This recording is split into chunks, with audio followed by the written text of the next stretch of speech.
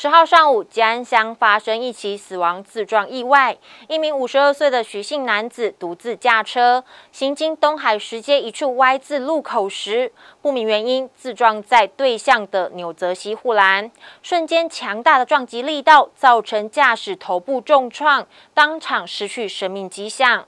在送医抢救后，还是宣告不治。黑色轿车从民宅前呼啸而过，但它却越开越往左偏，最后一头撞上路中纽泽西护栏，瞬间卷起一阵烟尘。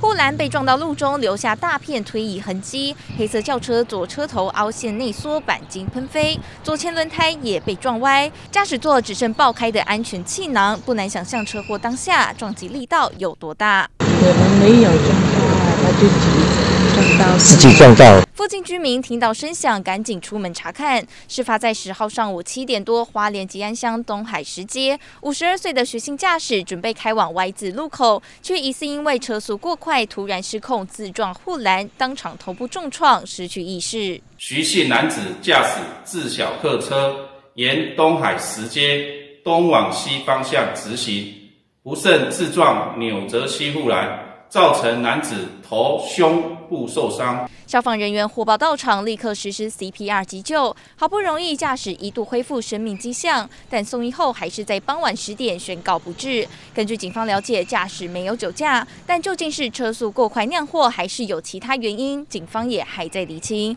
记者薛立晴、杨坚华联采访报道。